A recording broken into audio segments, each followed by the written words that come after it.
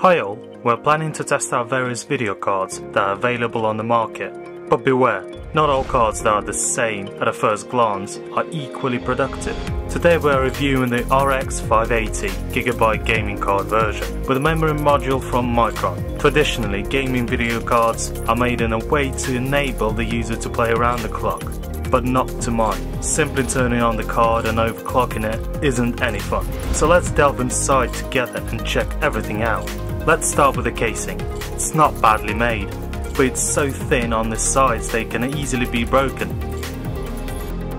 The cooling system consists of three tubes, and the radiator is in contact with the power system, at least so it seems. Let's open the graphics card and see how everything works. The main question is how the memory modules are cooled inside the video card. Around the clock cooling greatly affects the stability of the hash rate and determine for how long the chips will function at a maximum performance level without degrading. The contact with the GPU isn't of a very high quality. Look, there's a small gap between the three tubes. This means that there is an area that doesn't touch the chip, and the surface isn't perfectly even. The manufacturers usually only try to cool the GPU because they think that only the processor heats up, but we won't be using the graphics card to play games. As we can see, the cooling structure has its own problems. The power system is an important part of the card and one of three components that directly affects the stability of a hash rate and the overclocking parameters. It contacts through a thick gasket with a steel base, so the heat is not being removed in any way, it's just a piece of steel. The memory is the part that will actually be overclocking for the best result. The memory supply contacts the board, but we are interested in whether this board is in contact with aluminium radiator. As we can see, the memory is simply cooled by a piece of steel. This is unacceptable during mining, since memory and the memory power supply system heats up just as much as the GPU, possibly even more. For Ethereum mining, we will need to down the voltage of the GPU for better indication of energy efficiency to make the card consume less electricity in order for us to earn more. Removing a thermocouple from the chokes. This is a useless thing, but a pretty good system to power the memory, a two-phase power supply. However, the power phase of the memory controller is poor.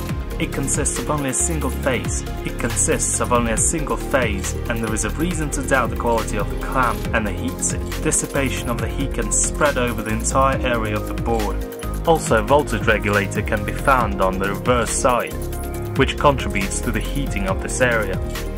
We can also see the six phases of the GPU power supply, a 12 volt input choke and the PCIe power supply together with a separate controller. Let's reassemble the graphics card and test how well it can mine. We'll reassemble the card and apply the thermal paste. We install the card in a riser, placing it conveniently to show the real temperatures within the card.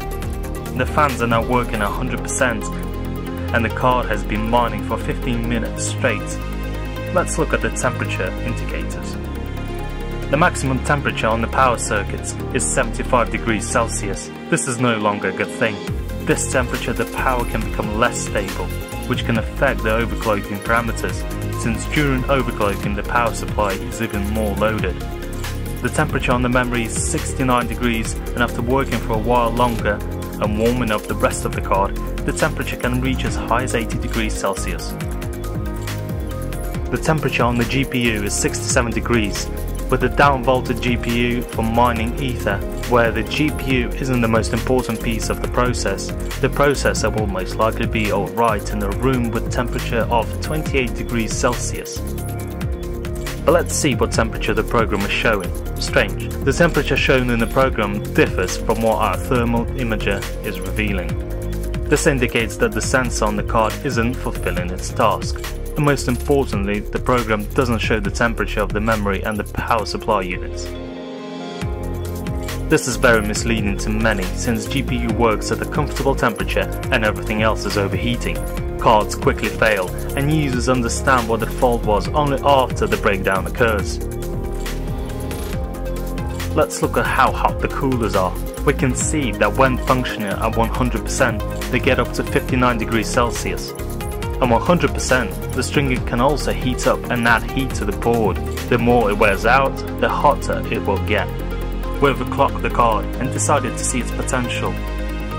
We did this by timing and modifying the BIOS. We achieved 33.5 Ethereum megahash with no errors during mining. This is a fantastic result. If you are interested in how this was achieved, write to us and we'll send more details to those subscribed to our newsfeed. The most important conclusion is that without using liquid cooling, memory and power supply modules overheat. It affects stability of the hash rate and after continuous use of 2 to 3 months, the chip will degrade, so it affects the income received from mining. We in Comino know this. In our devices we take care to cool the power modules and the memory. That's why we can overclock the standard card higher than with air cooling, and the card will not burn within the first few months.